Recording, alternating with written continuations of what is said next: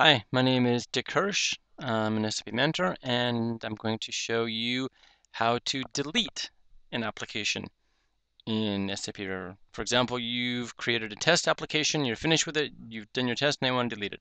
How does that work? So let me show you. So right now we are going to create an application that we are going to delete. Delete me. Whoops, I'm not good.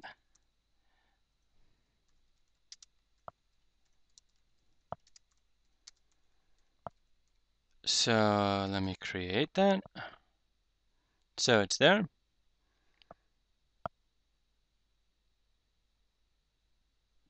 So yes, let me create my first tab. This is first tab. So now it's there, I got my application. Let's say I've done my test, now I want to get rid of it. Okay, how do I do this? Okay, I go to manage account right here, applications page. So there it is. And I basically select the line that I want to delete. And then I just say delete.